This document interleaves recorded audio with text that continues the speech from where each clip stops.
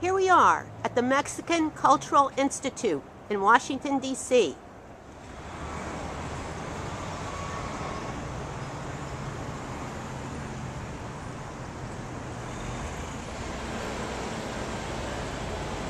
Folk art of Oaxaca, Mexico.